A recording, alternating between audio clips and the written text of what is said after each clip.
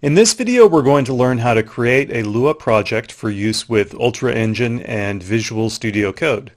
So the first thing we do is open the project manager and press the create button and we just have this Lua template to worry about.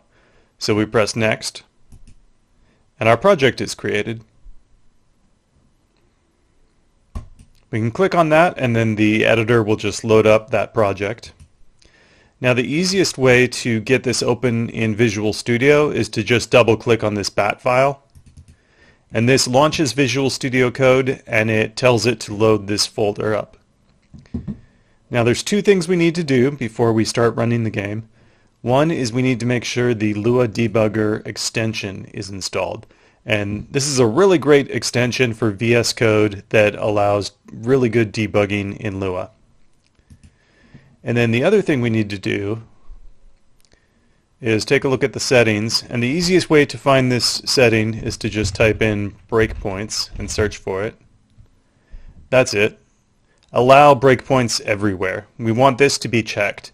If it's not checked, then we can't set breakpoints in a Lua file. But when it is checked, now we can set our breakpoints, and that's used for debugging. So let's try running the game.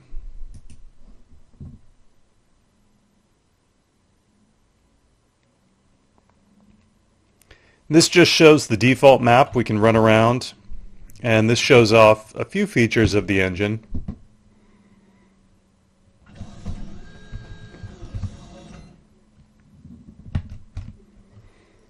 Let's take a look at the debugging.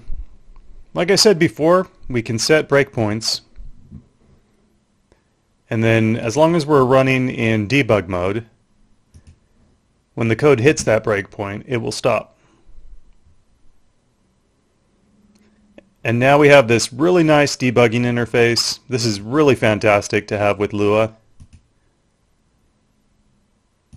We can look at all our variables. We can even hover, we can even hover over variables in the editor and look at them this way.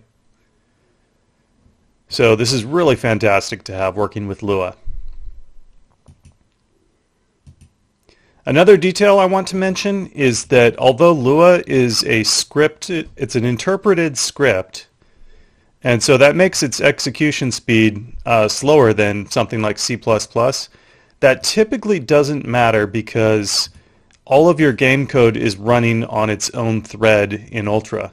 So as long as your code is executing within the allocated time, which is about 16 milliseconds, then you're perfectly fine using Lua for most games. Even for VR projects, uh, Lua will be just fine.